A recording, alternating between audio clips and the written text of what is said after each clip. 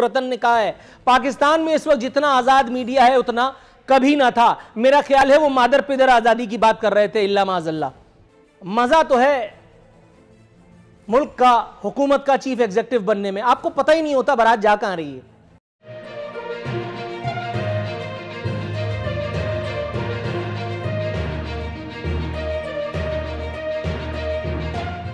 जय हिंद दोस्तों, आज की वीडियो शुरू करने से पहले मैं आप लोगों से एक बहुत ज़रूरी सूचना शेयर करना चाहता हूँ। ये जो बंदा आप अपने स्क्रीन पे देख रहे हैं, ये बंदा अपनी चैनल पे, मेरे चैनल के वीडियोस अपलोड करके सब्सक्राइबर और व्यू बढ़ा रहा है इसके जैसे और कितने यूट्यूबर ये काम कर रहे हैं, अभी मुझे इसके बारे में कुछ नहीं पता। ये अपने वीडियो में बड़ी बड़ी फेंकता है, लेकिन इसका नेचर इसके बिल्कुल उलट है। मैंने जब अपना वीडियो इसके चैनल पे देखा तो मैंने इससे कहा कि भाई, ये मेरा वीडियो है। मेरा चैनल सस्पेंड हो गया है और मुझे अपने इस नए चैनल को ग्रो करने के लिए आप सबकी सहायता की आवश्यकता है। तो इसने मेरे कमेंट को डिलीट कर दिया।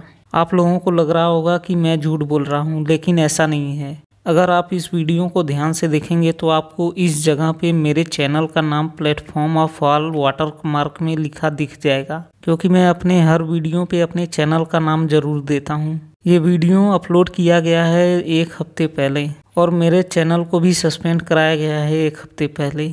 यानी मेरे चैनल के सस्पेंड होते ही इस बंदे ने अपने चैनल पे मेरा वीडियो अपलोड कर दिया। अब इसके बाद आगे का फैसला मैं आप लोगों पे छोड़ता हूँ। हुकूमत की मीडिया सेंसरशिप पॉलिसी के खिलाफ बीबीसी ने एक और खेल खेला है, एक और साजिश रचाई है। मीडिया सेंसरशिप के खिलाफ खत तहरीर करते हुए निजी चैनल के साथ अपनी शराकतदारी या पार्टनरशिप को खत्म करने का ऐलान कर दिया है। एक अजीब सा नाम है, पूरा नहीं ले सकता, लेकिन मिस्टर डैनियल पे आप काम चलाइए, उन्होंने फरमाया है। मीडिया बंदिशों के सामने झुकने से इनकार करते हैं जिसपे एक हुकूमती अनमोल रतन ने कहा है, पाकिस्तान में इस वक्त जितना आज़ाद मीडिया है, उतना कभी ना था। मेरा ख्याल है वो मादर पिदर आज़ादी की बात कर रहे थे, इल्ला माजल्ला।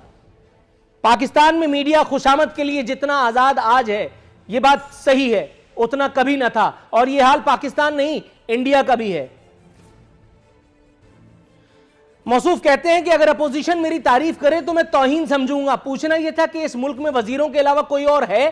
कोई काम ऐसा किया है जिसपे आपकी तारीफ़ की जाए? डॉलर बढ़ने का आपको टीवी से पता चलता है। कुछ और बढ़ने का आपको जिससे पता चलता है वो मैं कह नहीं सकता। बड़े मामलात हो जाएँगे। कहते हैं कि मेरे वुजरा जिहाद कर रहे हैं। उलमाए दीन का कहना है कि यह दीन से इस्लामी तालीमत से दूरी का नतीजा है या शायद वो सेल्फ सेंटर्ड हो गए हैं। अब इसमें शायद मुझे इजाफी लग रहा है। एहतसाब की एक और आला तरीन मिसाल कायम होने को है। सेनेट में इलेक्शन होने वाला है। बताया ही जा रहा है, पता नहीं होता है कि नहीं। चीनी स्कैंडल वाले नहीं थे? वो खैर से इमाम काबा के एक और पोते, जहांगीर तरीन, जिनको खुद तमाम तर केसेस के खिलाफ, जिन पे एफ़ आई आर भी मौजूद है। लेकिन जिस मुल्क का वज़ीर आज़म कह दे कि ये मुझे अच्छा लगता है, उसके बाद कोई उससे कुछ पूछ लेगा। एम क्यू एम का कुछ कर लिया था लोगों ने, जब तक वो हुकूमत को और इदारों को अच्छे लगते थे। उनका ताल्लुक रॉ से हो, मूसाद से हो, केजीबी से हो। अल्ताफ भाई के कहने पे यहाँ का वज़ीर दाखिला नाश्ता फिरता था। और वज़ीर दाखिला के यहाँ हुकूमत नाश्ती फिरती थी। मफामत का दस्तरखान बिछा हुआ था और हमारे हिस्से की बोटियाँ सब तोड़ रहे थे। बहरहाल बात आती है जहांगीर तरीन पे। जहांगीर तरीन को नवाजने के लिए एक और चोर दरवाज़ा सुना है कि खोला जाने वाला है। ऐसा होता है या नहीं, इसका फैसला वक्त करेगा। सेनेट में टिकट डिस्ट्रीब्यूशन कमेटी का चेयरमैन बनाने की तजवीज सामने आई है। लेकिन ऐसा नहीं कि इस वक्त इस मुल्क में कुछ अच्छा नहीं हो रहा। ऐसा नहीं।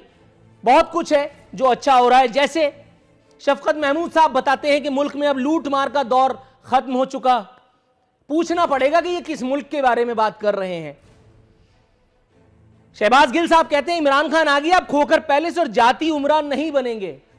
माँ सिवाय कहका लगाने के या सर में उठा के खाक डाल लेने के, इन बातों पर या इन मावराए अकल बई दकल बातों पर आप क्या कर सकते हैं? सर फोड़ सकते हैं।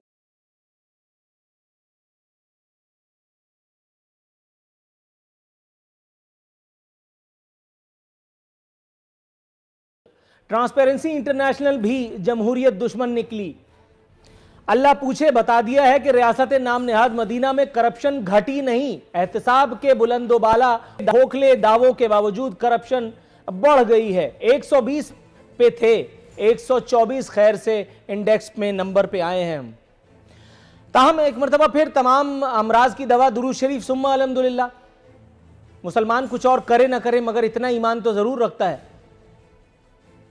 कह दिया गया है कि रिपोर्ट अपोजिशन की करतूतों का। करतूतों को इन्वर्टेड कॉमाज में समझिएगा, नतीजा है। और ये कहने वाले हैं मुआविन खसूसी बरए वज़ीर आज़म ताहम ट्रांसपेरेंसी इंटरनेशनल ने एक मरतबा फिर हुकूमत को तिगनी का नाच नचाते हुए ये बता दिया कि ऐसा नहीं है।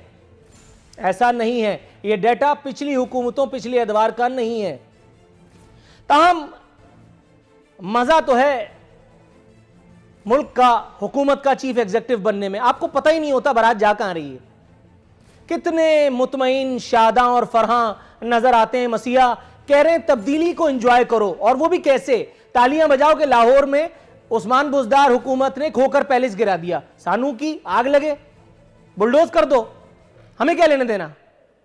मगर कह रहे हैं, बस बगले बजाओ, क्योंकि यही थी वो तब्दीली जिसके लिए मैंने तुम्हें 126 दिन तक तिगनी का नाच नचाया था। गुड